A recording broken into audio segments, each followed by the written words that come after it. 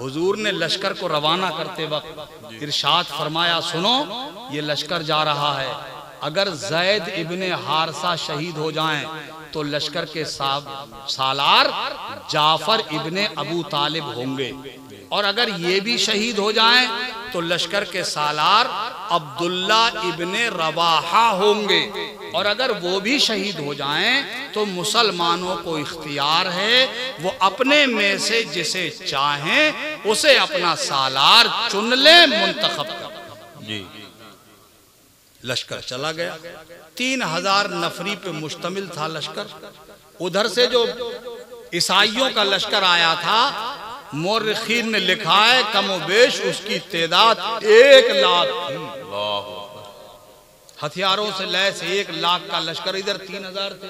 जी जी। मगर इन्होंने अपनी तादाद की कमी की बुनियाद अपने कम होने का एहसास नहीं किया। वो तो पहाड़ों से टकरा जाने वाले लोग। जी जी बेशक बेशक। तो घबराते नहीं थे पहाड़ों से टकरा जाने का जज्बा रखते थे रसूलुल्लाह के गुलाम। बेशक बेशक। अरे मियाँ उन्होंने चेहरे मुस्तफ़ा से ईमान लिया था।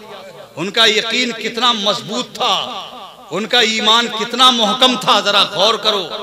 लश्कर भिड़ गया एक लाख के लश्कर से।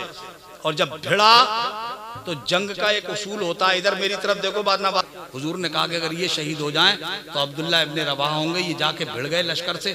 जंग होने लगी। और जब जंग हुई तो अब्दुल्ला हज़रत जैद इब्ने हारसा जब शहीद होने लगे और परचमे इस्लाम लहराने लड़खड़ाने लगा कि अब गिर जाएगा तो हज़रत जाफ़र तैयार आगे बढ़े और आपने बढ़कर के परचम इस्लाम उठा लिया और फरमाया मुसलमानों घबराना नहीं जब तक जाफ़र ज़िंदा है ये इस्लाम का परचम गिर नहीं सकता है। अल्लाह अल्लाह जैसे ही आपने परचम इस्लाम उठाया पीछे से बाजू पर आपके एक मज़बूत तलवार का वार किया गया आपका हाथ कलम हो गया। आपने दूसरे हाथ से झंडा उठा लिया दूसरे हाथ पे परचा मारा तो दूसरा हाथ कलम हो गया। आपने अपने दांतों में परचम इस्लाम दबा के बुलंद कर दिया। दांतों में लेकर के इस्लाम का परचम बुलंद कर दिया। बर्चा सीने में लगा, पार निकल गया। ज़मीन पे तशरीफ़ लाए। उधर अब्दुल्ला इब्ने रवाहा ने परचम इस्लाम उठा के बुलंद कर दिया है। इधर जाफ़र तैयार मैदान में गिरे हैं। मेरे मुस्तफ़ा मस्जिद नबी शरीफ में फरमा रहे हैं। मेरे जाफ़र का एक बाजू कट गया बाजू दूसरा कट गया। अल्लाह ताला ने जाफ़र तैयार को इन कटे हुए बाजुओं की बरकत से उन्हें पर अता कर दिए हैं। अब वो जन्नत में परवाज कर रहे हैं। वो जन्नत में उन्हीं परों से उड़ रहे हैं। जिबरील अमीन आए हुजूर से आकर के अर्ज़ किया हुजूर आपके जाफ़र तैयार उन्हीं परों से जन्नत में परवाज कर रहे हैं। सुभान अल्लाह सुभान अब सुनो आला हज़रत दिखते हैं। हुजूर ने फरमाया ए जिबरील मैं नहीं समझता था कि जैद इब्ने हारसा का मर्तबा जाफ़र तैयार से कम रह जाएगा। मैं नहीं समझता था कि जैद इब्ने हारसा मेरे गुलाम जैद इब्ने हारसा जो उसको लश्कर का सालार बनाया था, पहले शहीद हुए थे, मैं नहीं समझता था कि उनका रुतबा जाफ़र तैयार से कम रह जाएगा। हज़रत जिबरील अमीन ने कहा, या रसूल अल्लाह बात ये नहीं है, जैद इब्ने हारसा का मर्तबा जाफ़र तैयार से कम नहीं है, मगर बात दरअसल ये है कि जाफ़र तैयार का दर्जा इसलिए बढ़ा दिया गया कि जाफ़र तैयार को आपसे कराबत है। क्या बात है? अरे हुजूर सुभान जाफ़र तैयार आपके खानदान से है। इसलिए उनका रुतबा बढ़ा दिया गया। अरे मियाँ जाफ़र तैयार तो चचेरे भाई थे थोड़ा सा दूर का भी रिश्ता बनता है मगर मेरे नबी की जो असली नस्ली औलाद है मेरे नबी के जो खून का कतरा है बताओ उनकी कराबत का लिहाज मेरा रब कितना फरमा रहा नारे तकबीर, नारे नारे हैदरी, फैजान औसे आज़म आला हज़रत उर्फे सैयद ताहिर मिल्लत, हुजूर सैयद सुहेल अल्लाह अल्लाह वाह वाह जिंदाबाद। जो है, हम कितने खुश नसीब हैं।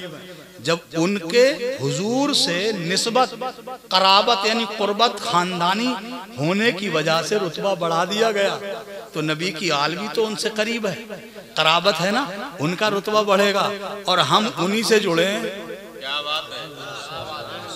हमारा ताल्लुक उन्हीं से है। हमारी निस्बत उन्हीं से जुड़ी हुई है। तो अपना भी बेड़ा पार बोलो, पार है के?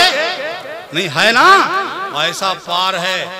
हम ताहिर मिल्लत के दामन में छुप जाएँगे। वो हमें अपने दामन में छुपा के हज़रत मीर सुथरे मियाँ के दामन में छुप जाएँगे। वो सबको गुलामों के साथ लेकर मीर तैयब के दामन में छुप जाएँगे। मीर तैयब, मीर अब्दुल वाहिद बिलग्रामी के दामन में छुपेंगे। मीर अब्दुल वाहिद बिलग्रामी कुतुबुद्दीन बख्तियार काकी के दामन में छुपेंगे। वो हज़रत ख्वाजा ख्वाजगान, सरकार सैदना ख्वाजा मोइनुद्दीन चिश्ती के दामन में छुपेंगे। वो सबको लेकर के गौसे आज़म के दामन में छुपेंगे। गौसे आज़म सबको लेके मौला अली के दामन में छुपेंगे। और मौला अली सब गुलामों को अपने दामन में छुपाकर नबी कौनैन के दामन में छुप जाएँगे। और जब हम नबी के दामन में छुपे हुए होंगे तो उस्ताद जमन अल्लामा हसन का ये शेर मैदान मैशर में गूंज रहा होगा। ढूंढा ही करे सदरे कयामत के सिपाही। ढूंढा ही करे सदरे कयामत के सिपाही। वो किसको मिले जो तेरे दामन में छुपा? सुभान अल्लाह सुभान अल्लाह वाह वाह वाह। वो किसको मिले जो तेरे दामन में छुपा हो इंशाअल्लाह अपना बेड़ा पार है बेशक। पार। कुरान में अल्लाह ने कहा अला इन्ना औलिया अल्लाह ला खौफुन अलैहिम वला हुम यहजनून। अल्लज़ीना आमनू व कानू यत्तकून। खबरदार होशियार। बेशक अल्लाह के वलियों को ना कोई खौफ ना कोई गम। सुभान अल्लाह अब मियाँ, ये दो लफ्ज आए, खौफ और गम। और गम। फ़र्क दोनों में समझते हो? कोई मुसीबत आने वाली हो, उसका होता है खौफ। उसका होता है डर खौफ। और कोई मुसीबत आके गुजर जाए और कोई नुकसान हो जाए तो होता है गम। होता है ना? है, है कुरान में अल्लाह ने वाजे कर दिया मेरे खास बंदों को न आने वाली का खौफ न गुजरे हुए का गम। सुभान न आने वाली का खौफ। न गुजरे हुए का गम क्यों? अल्लज़ीना व कानू इसलिए कि ये वो लोग हैं जो तकवा इख्तियार करते हैं। सुभान अल्लाह ये वो लोग हैं जो अल्लाह से डरते हैं। तकवा का मतलब अल्लाह से डरना। अल्लाह डरने का मतलब जो अल्लाह से डरेगा वो कोई गुनाह करेगा। नहीं। बताओ ईमानदारी से बताओ। जैसे ये डर लगा हुआ हो मैं ये चीज़ चुराऊँगा मेरा हाथ काट लिया जाएगा। हैं? जो अल्लाह से डरेगा अल्लाह का खौफ जिसके दिल क्या बहुत अच्छी बात। वो कभी भी गुनाह के करीब नहीं जाएगा। उसी का नाम है तकवा। अल्लाह उसी का नाम है तकवा। तकवा। अल्लाह का डर जिस दिल में हो वो दिल तकवा वाला होता है। सुभान अल्लाह बहुत अच्छा। और जिसका दिल तकवा वाला होता है वही जन्नत वाला होता है। क्या बात है वाह।